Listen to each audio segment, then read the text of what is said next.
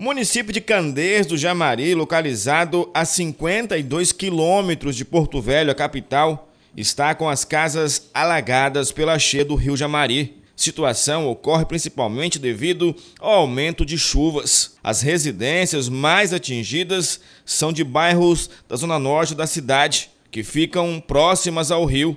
O município pode ter mais áreas alagadas por causa da abertura das comportas da barragem da hidrelétrica de Samuel. Segundo a previsão da Eletronorte, o alagamento pode acontecer nas áreas de várzea abaixo do rio Jamari.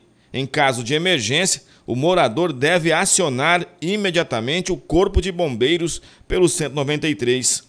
As comportas da usina foram abertas com despejo de 200 mil litros de água por segundo do rio.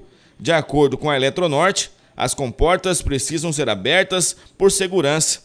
Contudo, a abertura das comportas da usina pode fazer o rio atingir níveis além dos registrados anualmente pela chuva. Por isso, muitos moradores estão construindo bases mais altas para elevar as casas e outros estão procurando abrigos.